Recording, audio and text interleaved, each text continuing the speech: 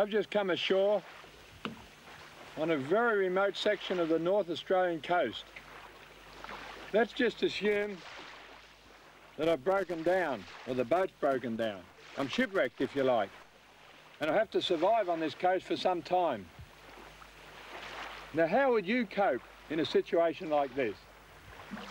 Well, basically, you need shelter, you need water, you need fire, and you need food. And what we need first is water. We can't survive very long without it. So let's have a look in the boat and see what we've got so we can start collecting water and if there's no surface water, we're going to make it.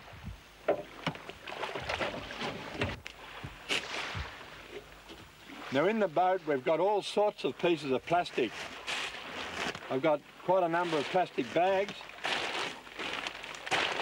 We've also got large sheets of plastic that I use to keep all my gear dry. We can take these plastic bags and the sheets of plastic up into the sand dunes and we can start making water.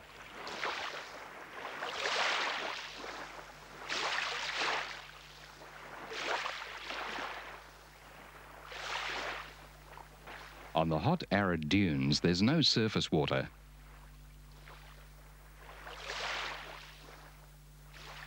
After scraping out a large hole, Malcolm fills it with freshly cut mangrove branches.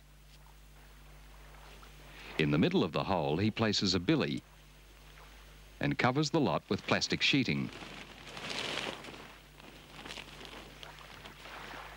Any kind of plastic of any size can be used, and it's held in place with sand.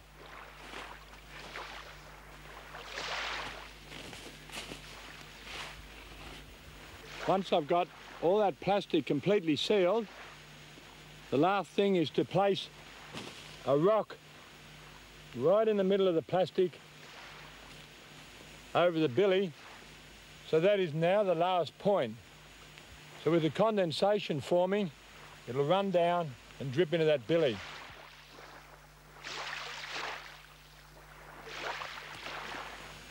It's now extremely hot. I feel like I'm in an oven. And these mangroves that we put in here this morning are now virtually cooked. There's still a lot of water running into that billy. Just about to check it for the first time.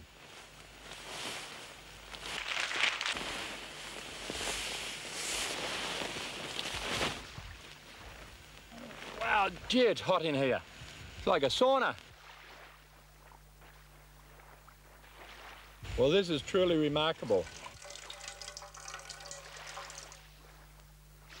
I've now filled up the, the cup and there's still, oh, a litre or more in that billy.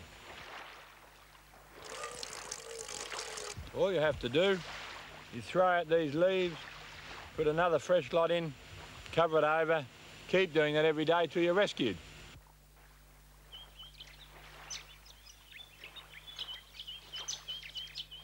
Plastic bags are tied over leafy branches, and the condensation soon begins trickling to the bottom of each bag.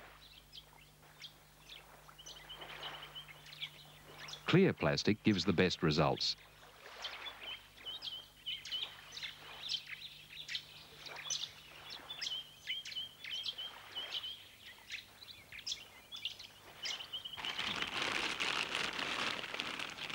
Quite incredible the amount of water that you can collect like this over two or three days.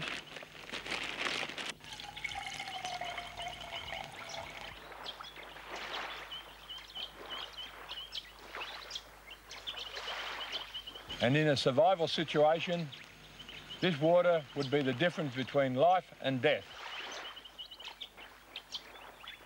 Good water too. Now that I've got a reasonable supply of water in the plastic bags, the next step is to make some fire. The easiest way, providing you've got one, and I always carry one, is a good magnifying glass. Under this 40 degree sun, it's going to take me about 20 seconds to get a good fire. Well, there we are. Fire in 20 seconds. If you ever go out in the bush, make sure you always take a good magnifying glass. There are a number of other ways of making fire besides using the magnifying glass. I've picked up a few bits and pieces here and I'm going to try another method. Most of us know how you can get a long straight stick and place it in a hole in another piece of wood and twist it around like this. Now I can do that, but it is very difficult.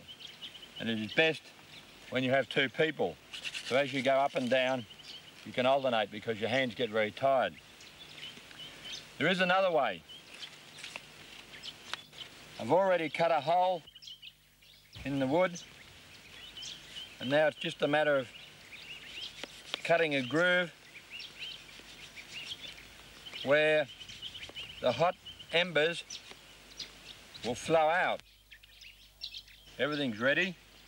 Got my hole, I've got my bark to catch the embers, fine dry grass. Now the next stage is to make up a bow. Green wood, and I've tied a piece of nylon fishing line across here. One, two twists, and that is the secret of the exercise.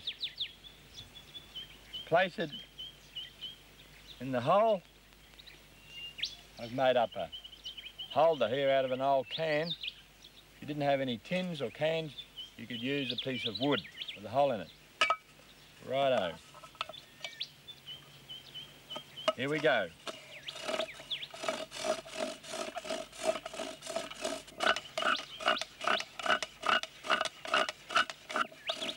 This method is about 20 times easier than attempting to do it with your hands.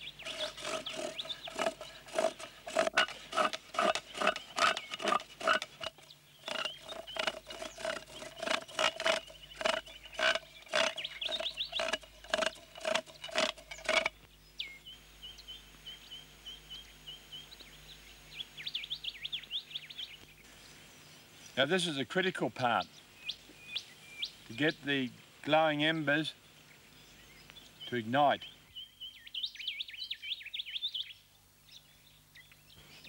there we are.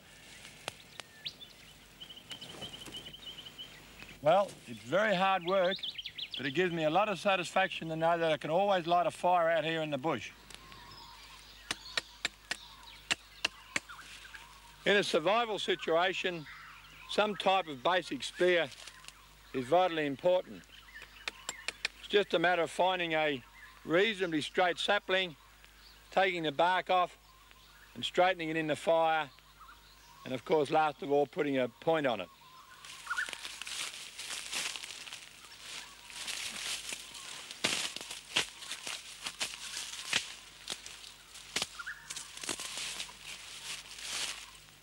Straighten my spear I'm using the technique that the Aboriginal people have used for thousands of years. And that is to heat the sap in the wood while it's still green. And with care, you can take the all the bends out of the wood.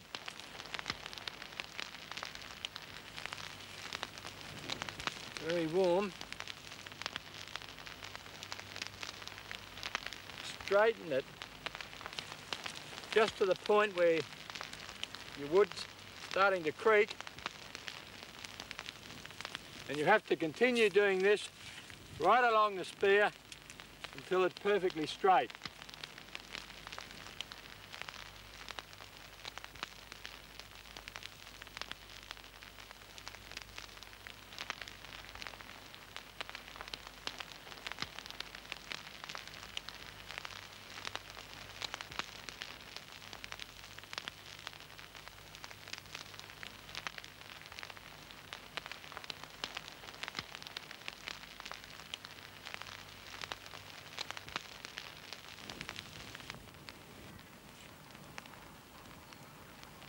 I don't recommend this method unless you've got very good teeth.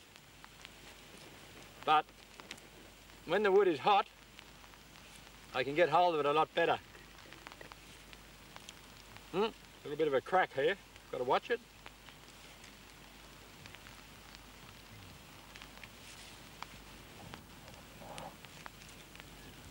Once I've got a good point on it, I will harden it up in the fire. Now if you were stuck without a knife, just remember you can use a stone or you can use shell, like the Aboriginal people did. I've got a nice point on that. Now just harden it up in the fire and on the next low tide, I'm going out on the reef, see what I can catch.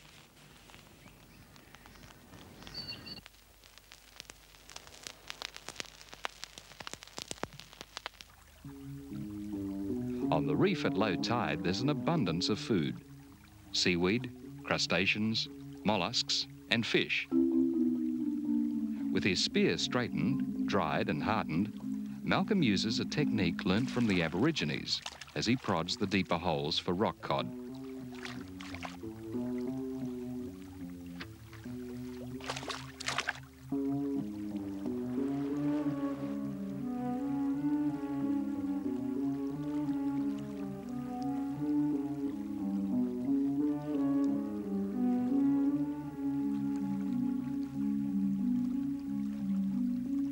Sea breeze ripples the surface. Squeezing the oily insides from a bêche-de-mer or sea cucumber, Malcolm spreads the intestines over the water and the oil smooths the surface to give perfect visibility.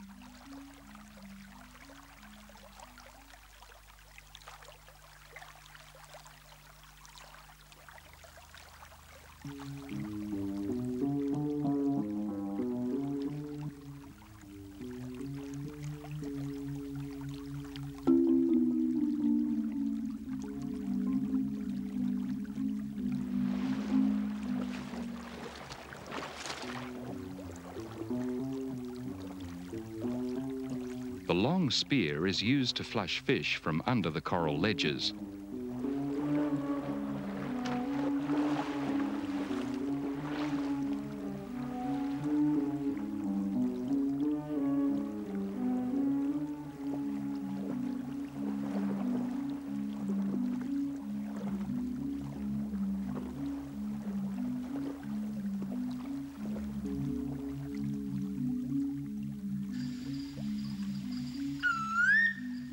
As he moves along the water's edge, Malcolm spots a number of edible shellfish.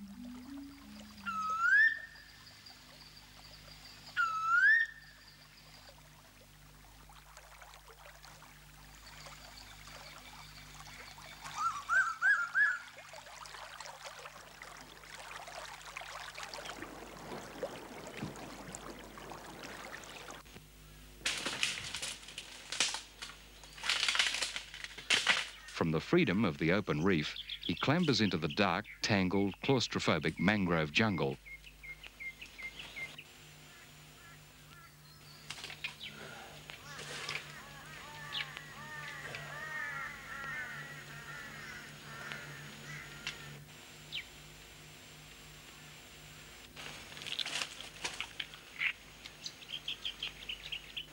The mangrove would have to be about the most difficult place to find a feed.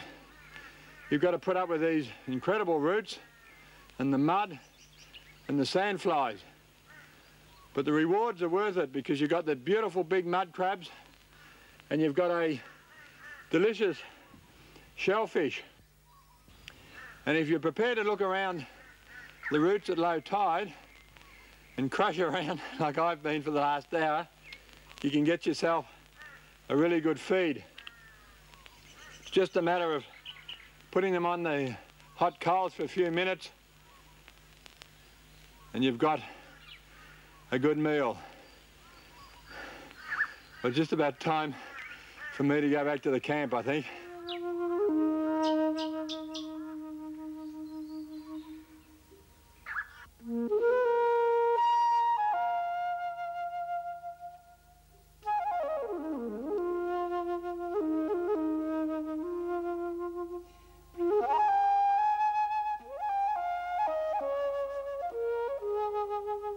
Shellfish and mud crabs need only a light roasting on the glowing embers.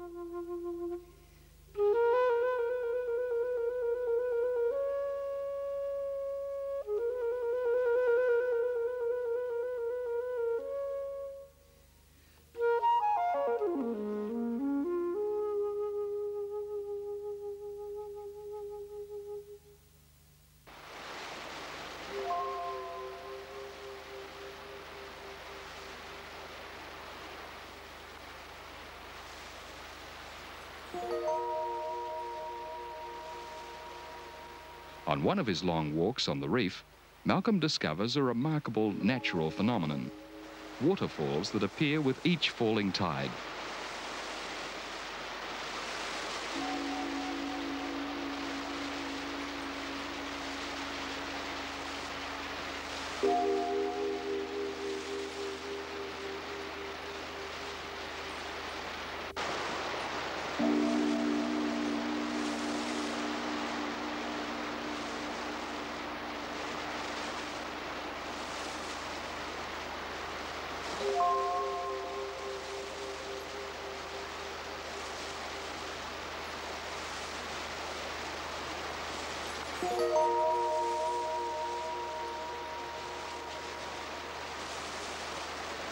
Dramatic spectacle stretching almost to the horizon.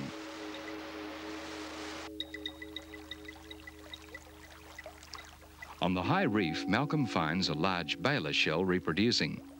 The gelatinous egg mass looks delicate, but it's tough and quickly hardens. It will be left attached to the reef while the young mollusks develop. When they hatch, they are perfectly formed miniatures of the adult.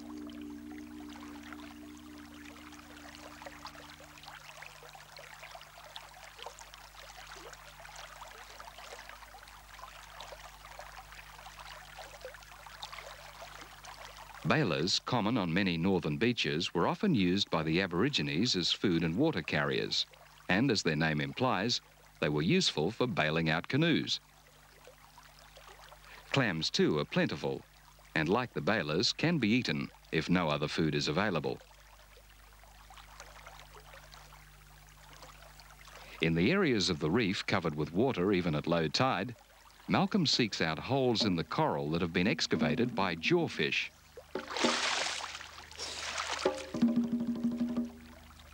Dropping a baited hook down the hole guarantees a feed every time.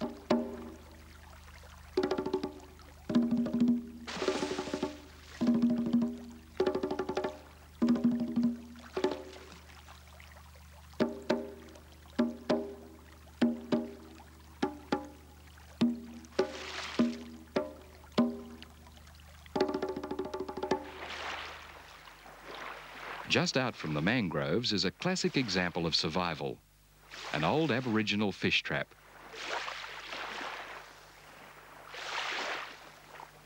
On certain tides, the stones, piled high, trapped whole schools of fish. Even now, as it falls into disrepair, fish are marooned at low tide, and Malcolm soon picks up a meal.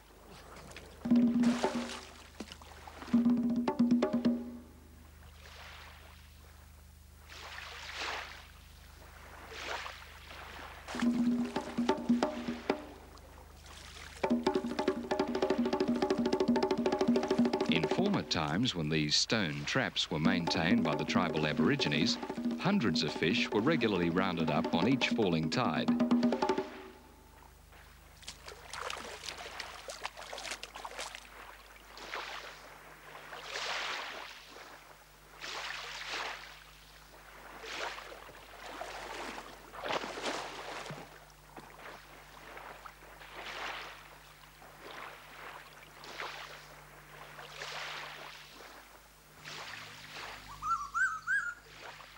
The midday meal is always cooked on the open fire. And now Malcolm heads out to the nearby coastal islands. In many places along the coast of North Australia, the Aboriginal people knew of plants that they can use on the reef at low tide to poison fish. Many years ago, an old Bardi Aboriginal showed me this particular plant they don't use the top of it, they use the root.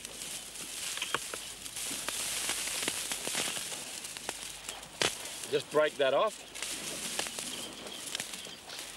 This is the root that I can use when I gather enough of them. I need more than one, I need a whole bag full. I'll pound them up with a rock, take them out on the reef at low tide and catch myself a good feed of fish.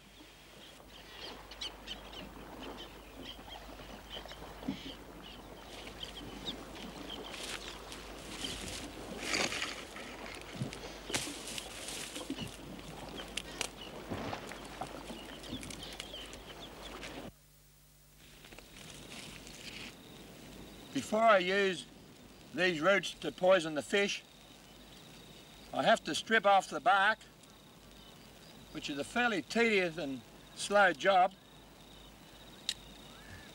Mix it with sand and pound it up so the sap from the bark mixes with the sand.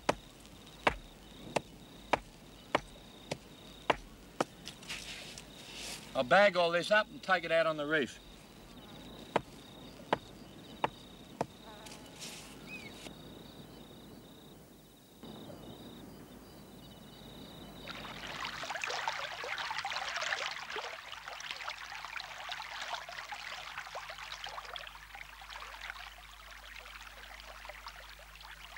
As the tide drops, fish are often trapped on the reef and seek shelter until the following high tide.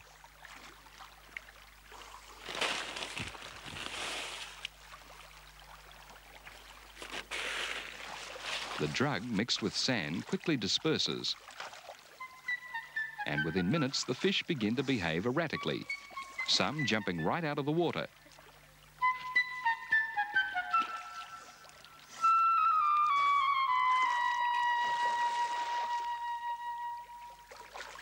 The drug affects the nervous system and the fish die quickly.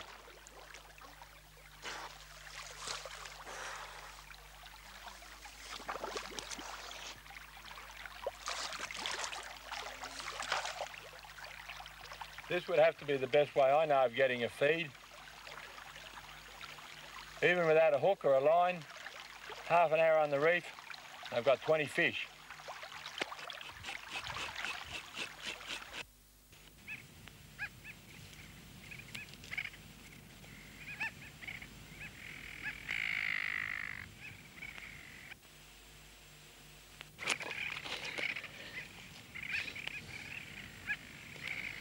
Here we are. In a survival situation, these eggs would keep you alive for a long time. On many of the islands in North Australia, at certain times of the year, you have large colonies of nesting birds. And at night, you can catch the birds, you can eat the flesh raw, you can even drink the blood. And of course, you can eat the eggs.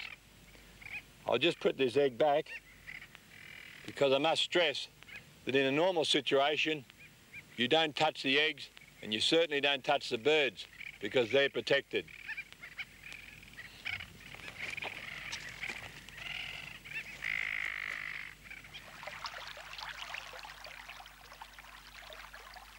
There's usually food available along the rocky shoreline, although it's often difficult to collect.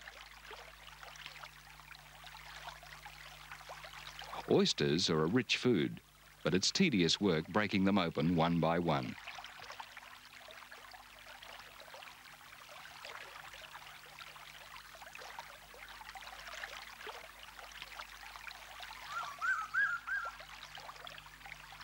Malcolm uses an old Aboriginal technique to collect a large quantity of oysters easily.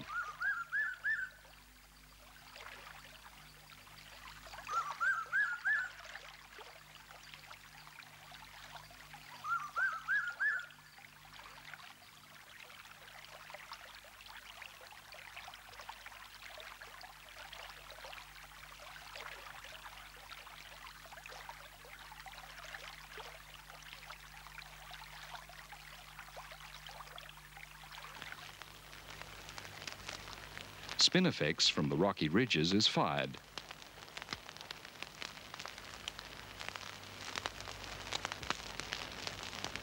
The dry, resinous grass blazes fiercely and the shells open.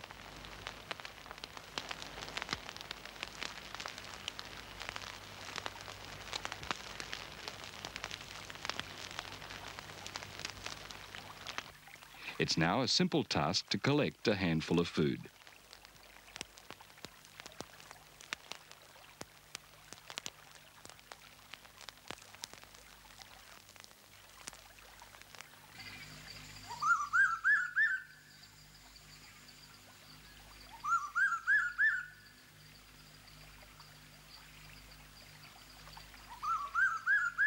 Ah, it's a tough life.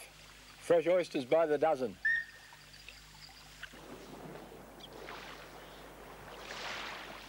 An ability to identify animal tracks is vital for survival.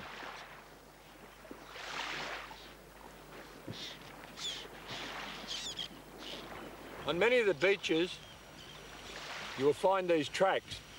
A lot of people panic when they see these tracks because they think they're crocodile tracks. Well, they're not croc tracks, they're turtle tracks.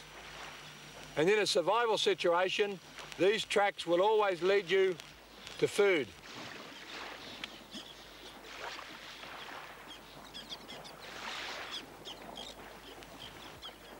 At night, a female turtle come up here and laid her egg. Now most people would automatically start digging in this depression. We can dig here for hours and you'd never find the egg. She's laid the egg somewhere behind me. The whole area must be systematically prodded to detect loose sand. It takes skill to determine where the turtle has deposited her eggs.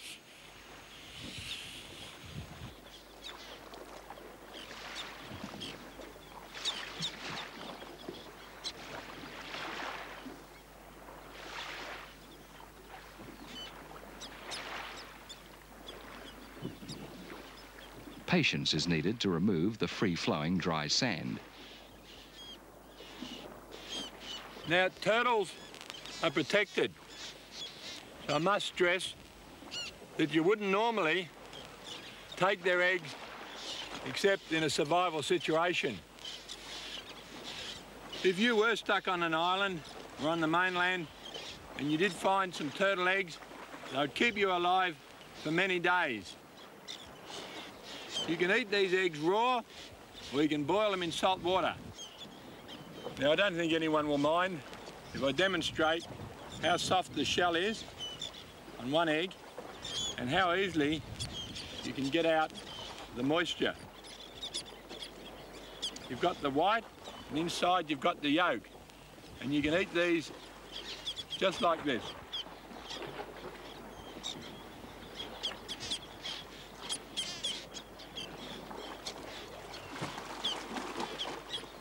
That's pretty rugged tucker, but it will keep you alive for many days. Half a dozen of those eggs and you're right. Got to remember too, there there are around about 60 eggs in that hole. The eggs must be covered again with sand to keep them cool and fresh.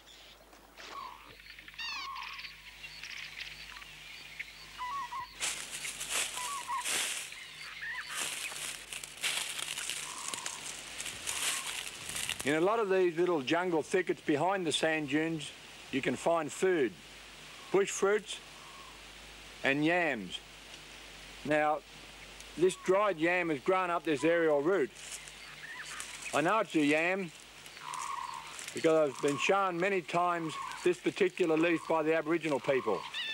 Now I have to follow it down where it's curled around and find where it's entered the ground.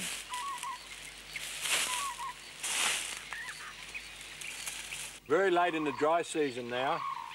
These vines are breaking off.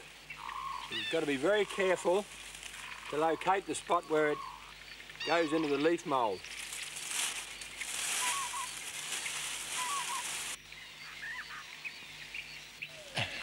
It's quite a job digging these yams out. Not so bad now because I'm down past all the roots from the trees. Just about at the bottom of it. I don't want to break it off. Uh, here we are. You're wondering what it tastes like. It's just slightly sweeter than our normal potato.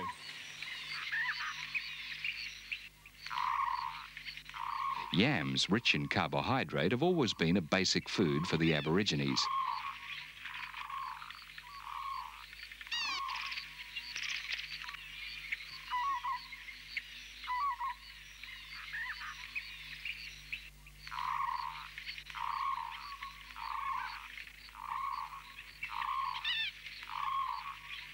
Good tucker, this. The native fig tree. Common on all the rocky outcrops. Little sweet fig. Very nice.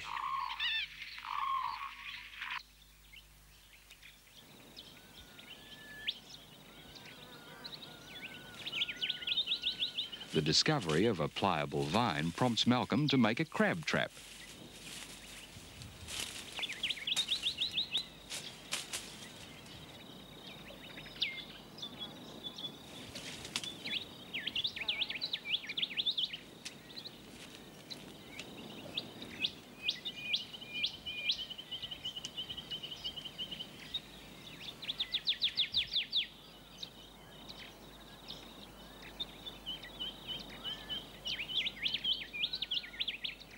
Right now I'm making up this trap just using these long vines, just a dish-shaped trap.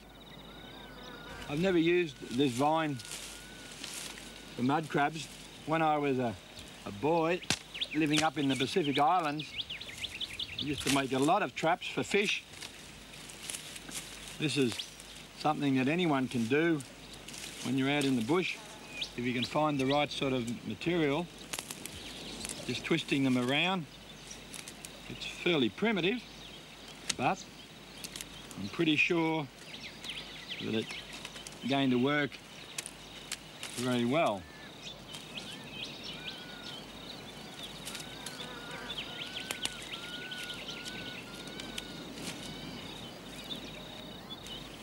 In the in the side here, I'm making a pocket. I put my bait up in the pocket so when the mud crabs go in there, I'll stay in there hopefully when I lift it up. Crab and fish traps can be made in any shape or size depending on the ingenuity of the maker.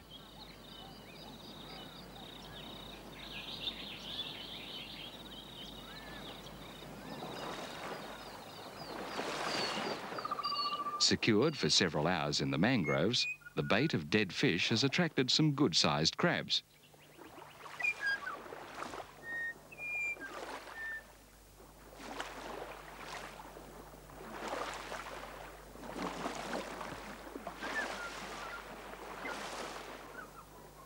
Once again, Malcolm ventures into the dank, gloomy mangrove thickets. Now let's assume that I'm stuck on the coast. I've lost my boat, but I have to travel. I'm stuck in the mangroves. There's an old trick that I learned from the Aboriginal people many years ago. They make a raft from this particular mangrove tree, and I'm going to make one of these rafts now. Now I have the luxury of a little tomahawk. In the early days, the Aboriginal people would cut themselves a piece of hard mangrove wood with a stone axe and they would use the hardwood to cut the roots of the softwood. Using the hardwood was very slow, so I'm going to go back to the tomahawk.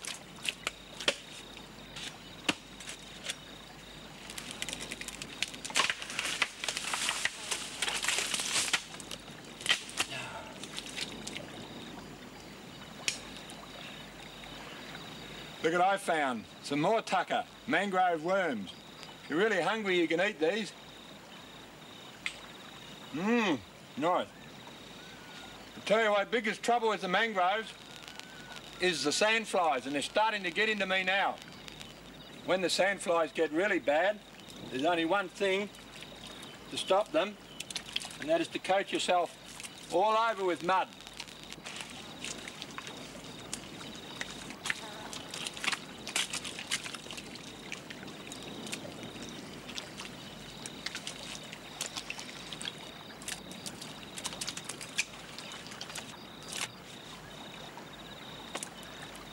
Forget about what the mud looks like. No one's going to see you out here. Or what it feels like. Rather cool, actually. But it certainly keeps those sand flies off. It might also be very good for the complexion.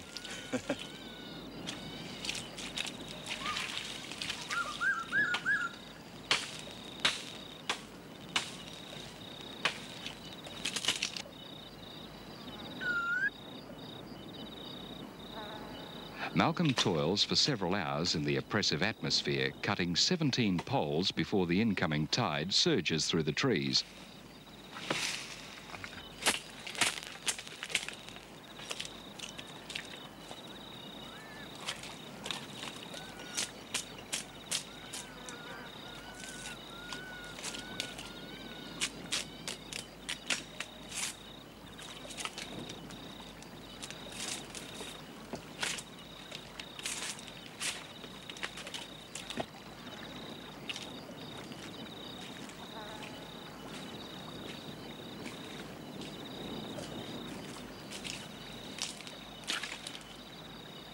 It's a hard slog, out of the gloom, back to the open, sandy beach.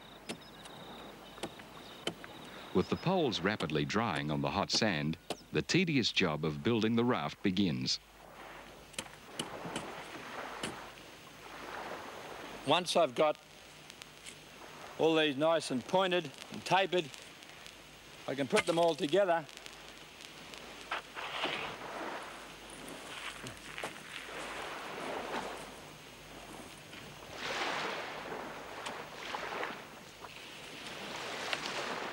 They are rearranged until Malcolm is satisfied that they fit neatly.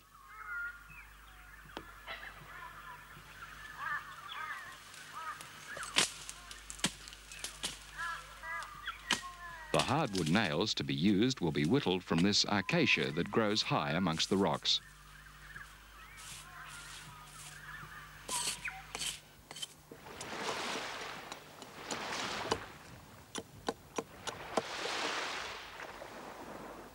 I need 68 of these nails to hold the raft together.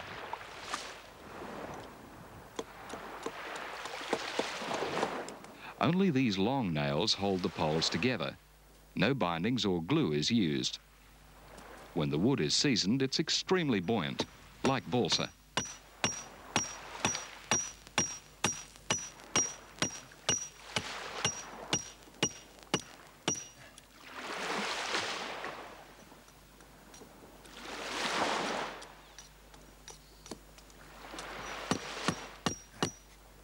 Now even though the mangrove wood is very soft,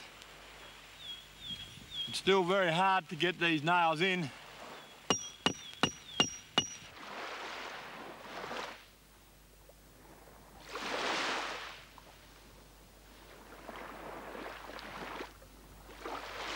The raft is made in two sections and left to dry.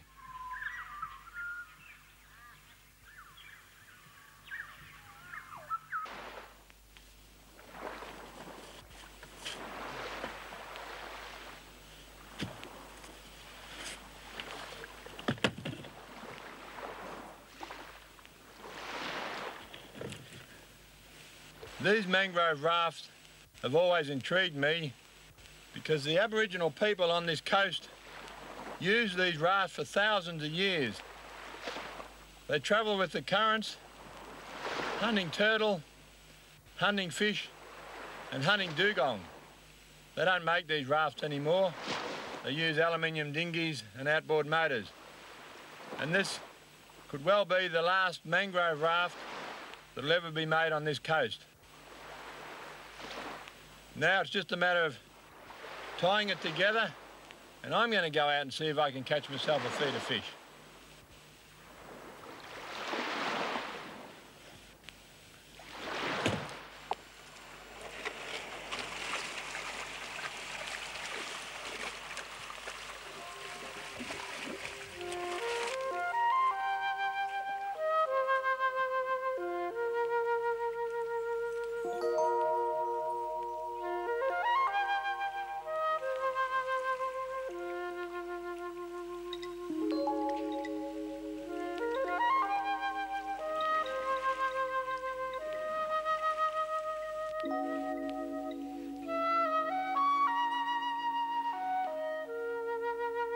Were only a few seafaring Aboriginal tribes that ever made these unique rafts. To use a raft efficiently, the hunter must have good local knowledge of the tidal currents. The Aborigines covered hundreds of kilometres along the northwest coast.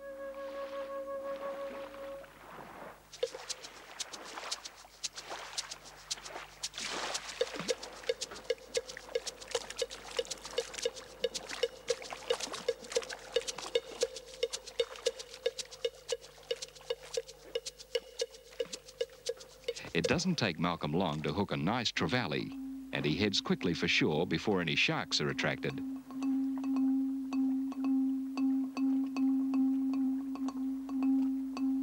Late in the afternoon, Malcolm heads off, enjoying the new experience to try his luck again.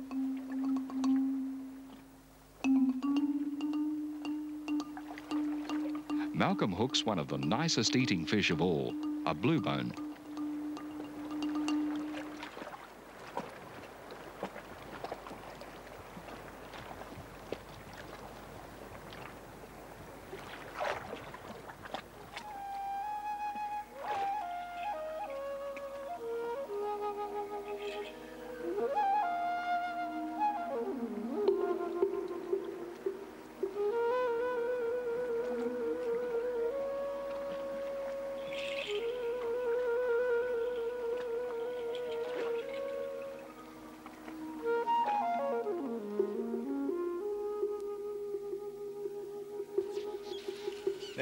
Bush or in a survival situation, I believe there's always one way that fish should be cooked.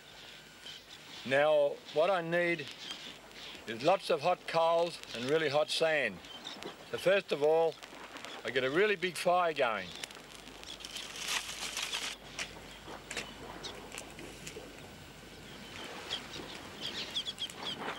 Now I don't scale these fish and I don't gut them.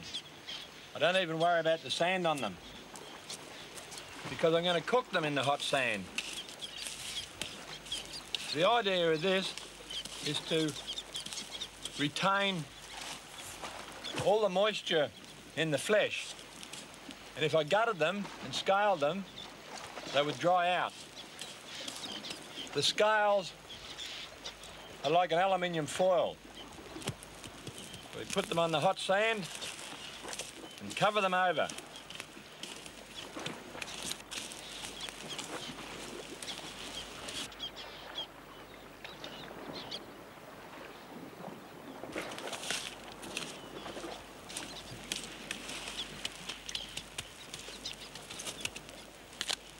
At this stage, they don't look very appetising. So what I do is carefully peel away the sand and the ash and the skin. And underneath, you've got beautiful, sweet, juicy meat. By cooking it in the coals, it retains all the moisture. That is the best tucker you can find out here. Mm. Practicing these survival techniques has been great, but now it's time for me to move on. I've just been asked to go to Wyndham to catch a giant rogue crocodile, and that is really going to be an adventure.